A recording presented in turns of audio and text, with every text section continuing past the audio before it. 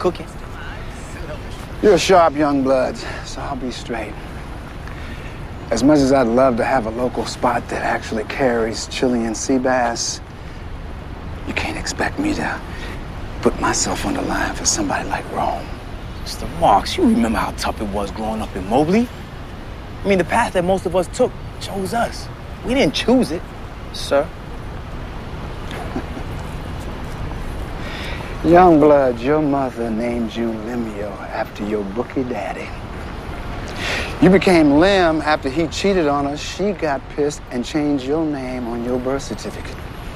Paid a $10 fee and everything, which was a grip of cash when you consider she was still living on food stamps at the time. You don't know what the hell you're talking about. Oh, we both know, I know. So cut the bullshit.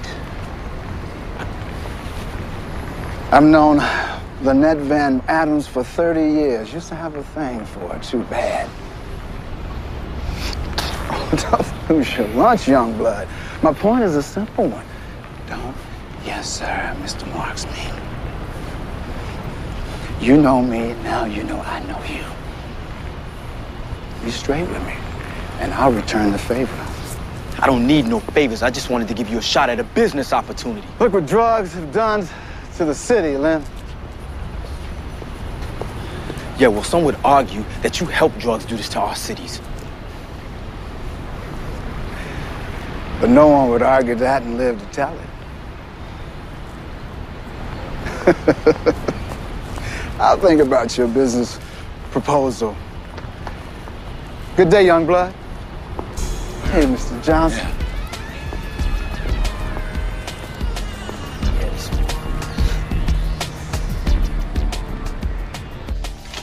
Hey man, you look great behind that apron. Ever thought of hosting your own cooking show? Now that's a great idea. We'll call it Tucker Time. Hey, honey, what do you think about me uh, hosting my own cooking show when I retire? Uh-uh. You said I could have you all to myself when you retire. And I never break a promise to my queen. That's right.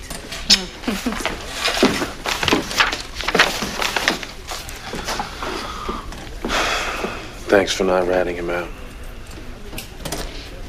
Yeah, well, I said I wasn't going to ruin your show. Well, I appreciate it. But the show's over. What? Hello, Max? Hey, Maxine. That, uh, that gumbo was a great idea. Thanks. I couldn't have done it without you. I bet you say that a lot. Pardon me? Uh, Tuck. Um, it's probably time for you and Sam to get going. Can you excuse us, please? Yeah. What's going on with you? You disgust me. You know that? You don't even know me. Yes, I do. Your type, anyway. Don't worry, I have no intention of telling your wife. Oh, I see. You think that I'm the first married guy to have an affair? Please. Most men cheat, darling, all right? And so do some women. Look at your wife. Now, she could be cheating on you right now, but you'd never know it. Because you're so sure she wouldn't. Because Samantha never would. Think about it, Kev. Some guy with his tongue down her throat, undressing her, touching her breasts, banging away at her. Yeah, to some men out there, your wife's a potential fuck buddy. What does it make your dick feel bigger? Cheating on your wife? Is that it? You got a little dick? Bet you're one of those big goofy kids got teased all the time. But now you're rich and you're famous and you're thinking, I'll show them. Yeah, well, one day you're gonna wake up all alone. Just you and your little dick. You know what? You're insane. Or maybe Samantha just cut that shit off in your sleep. Bye, Samantha. Good seeing you again. Kiss that baby for me. Thanks so much, okay? Mhm, You're welcome. All right, see you soon. Okay. Yeah, yeah, I'm okay. Yeah. Yeah. I'm Sorry about that. It's nothing to be sorry about. We're cool. Yeah, she's. Yeah, everybody had a great time. That's right. You did good, man. Thanks. The man. Hey,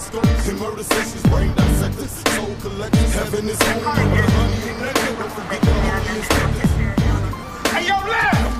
Hey, yo! Oh, shit. Boom. Hey, yo! Hands on the car, okay? Damn, your ass is stupid. Believing that fool's gonna go legit, Lem. Stupid. Hey, yo! You ain't got nothing else to do, right? Nothing else to do.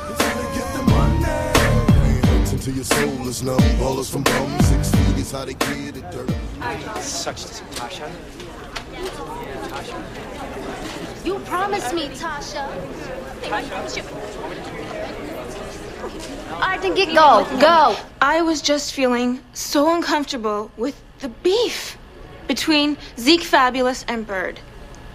I mean, there is already too much violence in the Chicago hair care scene.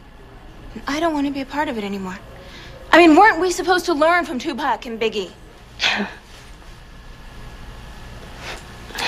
To be number one, you gotta roll with number one. Since Zeke Fabulous is the returning champion, I gotta roll with him.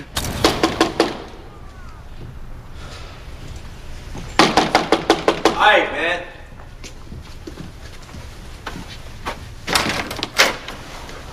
What the fuck you Man, how the hell you gonna keep rolling when you see the cops sweating me like that?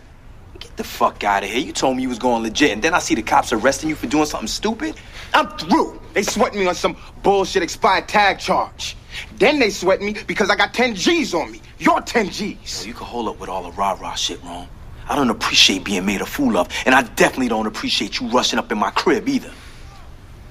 I told you I was done. And I am.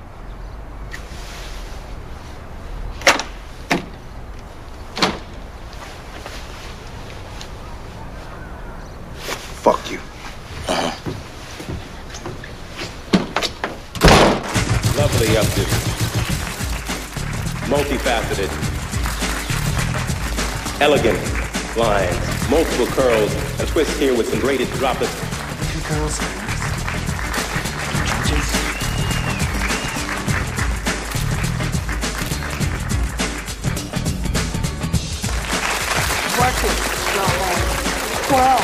Good for morning and evening. An ethnic original. Influence from the motherland. Beautiful angle. A fantasy look. Both exquisite. Ms. Van Adams, you may join your models.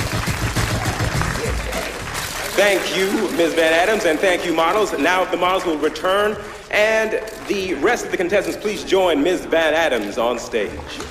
Ladies and gentlemen, as the Chicago Hair Show Week comes to an end, one more round of applause for the best stylist in the city. May I have the envelope, please?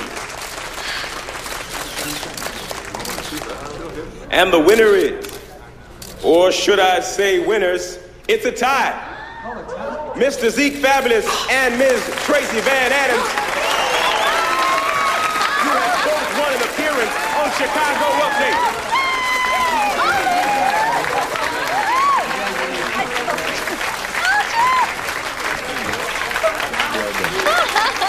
How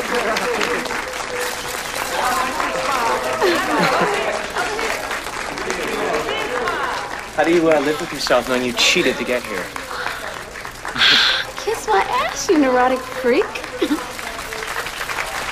just called me a freak. Did you see that? I think she just called him a freak. I don't think so. No, I'm sure. Not on stage. Okay. Uh, yeah, I did call you a freak, but I should have called you a fucking freak. now back off my trophy.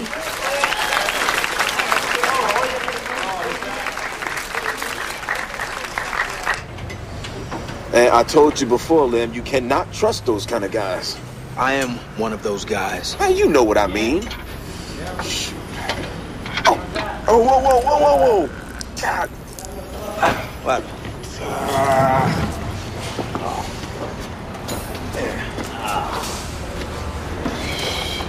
Hey, you're the exception. Those other brothers got the break they deserve. No matter what story they tell or how much they want to change, they are exactly where they should be. Yeah, well, some brothers got a bad break they didn't deserve and want to turn their lives around. While the legit brothers are standing around with 101 reasons on why they shouldn't help them out. I'm through with this conversation. That's because you know I'm right. No, you're wrong.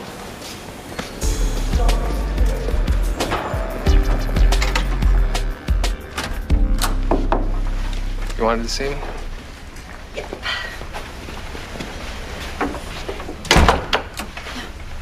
I was wondering if you had a chance to drop your wish list for your deal. I'm supposed to talk to Catherine Burke later, and I'm sure she's gonna ask. Yeah, I'm still working on that memo. It's a lot harder than I thought it was gonna be. Yeah? How so? Well, I just want to make sure I'm covering all my bases.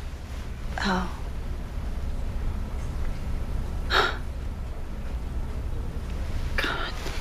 Did Bob Jameson offer you a job?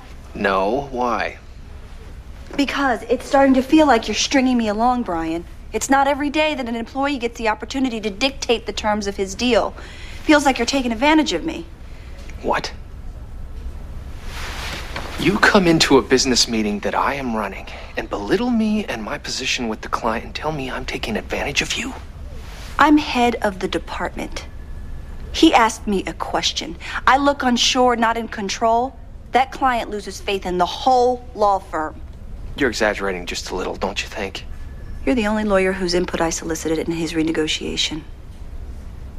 I strongly suggest you give me that input by five o'clock today.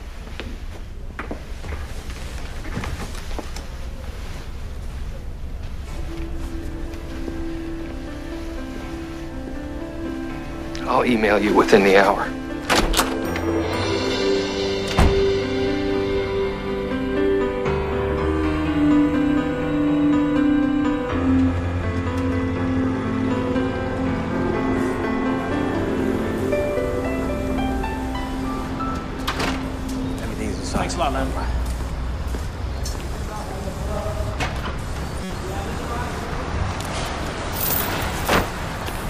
Young blood.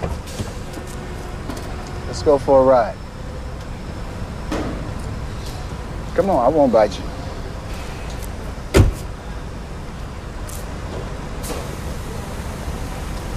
And where we off to? I got a business meeting. While we ride, you can tell me more about your business plan. Come on. All right, cool.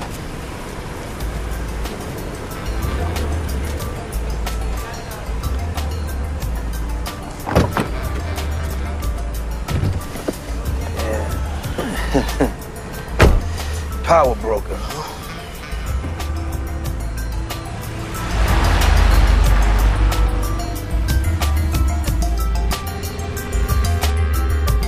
Baron, good to see you. Alderman, good to see you too. I want you to meet a smart young businessman, Lem Van Adams, Lem Alderman Glickman. Pleased to meet you, Mr. Glickman. Likewise. Sit, sit. So, what brings you by? Mega video. How is it that you know everything before it happens? eh? It's my job to know. Unfortunately, Alderman, it's not going to work out. Baron, that one's already in the works. My hands are tired on that. The neighborhood already has a video store. Osco's video? It's a mom and pop joint. Exactly. Mega Video will put Osco out of business. I can't let that happen. Well, I can't just tell him everything's changed Of course now. you can, Stuart. Listen. I keep the people in the neighborhood off your back. I take care of things that would be unpleasant for you.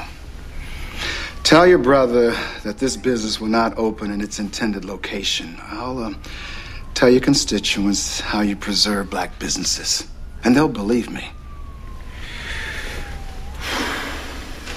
Look, I've been doing a little research. Actually, a lot of research. Checking out the city's plans for gentrification. There's a location on 25th and Main that could really use a video store. And with no other similar businesses within five miles, well, uh, Mega Video would clean up over there. I know that area, yeah. Well, let me uh, talk to my brother.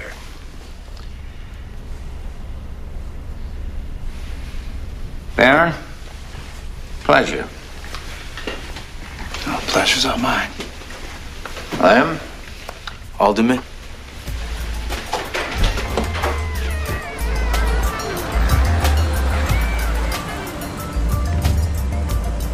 By the way, you know Osco has whack titles and sells hot electronics out the back door? Of course I know that, Lem. I'm a silent partner in Osco's. I look out for my community and I look out for myself. Well, how are you looking out for self by letting me tag along?